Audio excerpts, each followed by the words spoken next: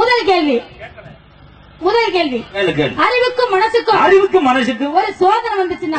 நீ அறிவு சொல்றது கேப்பியா மனசு சொல்றது கேப்பியா? நான் தான் மனசோட தான் கேட்பேன் உனக்கு அறிவு இருந்தா தானே முட்டை பேல நீ முதல் கேள்வியே வென்று விட்டாய் கழுத விட்டேன். பிள்ளையார் தெரியுமா? பிள்ளையார் தெரியும். எப்படி? அப்படியே உன்னைய மாதிரி இருப்பார்.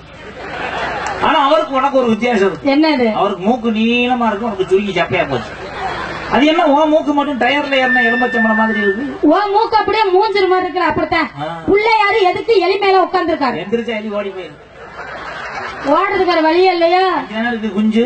மூஞ்சூரு பயந்துட்டேன். ஆ. எம்பெருமான் முருகன். எம்பெருமான் முருகன். பழனிமலை பழனி மலையில. ஏன் கோணத்தோட நிக்கிறார் அவர் காலத்துல ஏது சட்டி எம்பெருமான் முருகன் காலத்துல ஏதா சட்டி உனக்கு நல்ல சிந்தனை வராது. நல்லா சிந்தனை வரும். பாக்குறியா ஒரு கோழி. ஒரு கோழி. ஒரு நாளைக்கு ஒரு முட்டை போடுச்சுன்னா.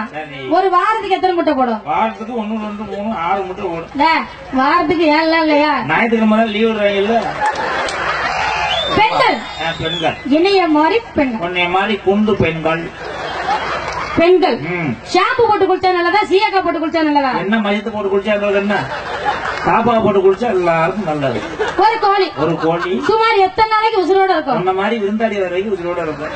அப்புறம் அடிச்சு காய்ச்சி குடிச்சிருவாங்க மிளகா பொடி இழந்தவங்க மிளகா பொடி மிளகாயில இருந்து சீரக பொடி சீரக பொடி சீரகத்துல சோம்பு பொடி சோம்பு பொடி சோம்புல இருந்து மூக்கு பொடி மூக்கு பொடி மூக்குல இருந்து.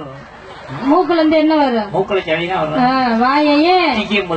இம்புட்டு கேள்வி ஆமா. நாங்க சில கேள்விகள் வச்சிருக்கோம் எங்க கிட்ட. கேளுங்க. கேட்கட்டுமா? மொட்டை அடிச்சு போட்டு கண்ணாடியை பார்த்தா என்ன தெரியும்? மொட்டை தான் தெரியும். ஒரு மசில் தெரியாது. ஏய், எப்படி தெரியும்? அப்புறம்? எப்படி தெரியும்? இந்தா. எப்படிமா தெரியும்? மசில் தான் வேட்டி தெரியுமா? வேட்டி. தெரியும் தெரியும். பப்ப வேட்டி கட்டுவாரா கட்டுவார். டவுசர் போடுவாரா போடணும் பப்ப வேட்டி எந்த இடத்துல கட்டுவாரு. எல்லா அப்பனும் இடுப்புல தான் கட்டுவாங்க. நாங்கெல்லாம் அந்த இடத்துல தான் கட்டுவோம். உரிச்ச கோழிக்கு உரிக்காத கோழிக்கு என்ன வித்தியாசம்?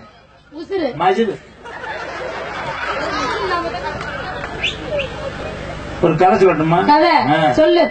ஒரு ஊர்ல ரெண்டு பேர் இருந்தாங்க. சரி. இருந்தாங்களா. ஒருத்தன் பேர் நீலூஸ். சரி. இன்னொருத்தன் பேர் நாலூஸ். சரி. அன்னைக்குன்னு பார்த்து. நீலூஸ் ஊருக்கு போயிட்டான். அப்ப வீட்டுல இருந்தது யாரு? நாலு உசு ஒத்துக்கிட்டா சரி.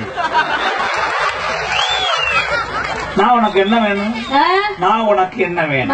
மச்சாவே ம். ஒரு வேளை நான் செத்து போயிட்டா நீ என்ன செய்வ? ஐயா அப்படிலாம் சொல்லாதீங்க மச்சான் உங்க கூடவே வந்துருவேன். அப்பவே ஜோசியக்காரன் சொன்னான் என்னது? உன்னை சனியை எங்க ஒன்னாலும் விடாத.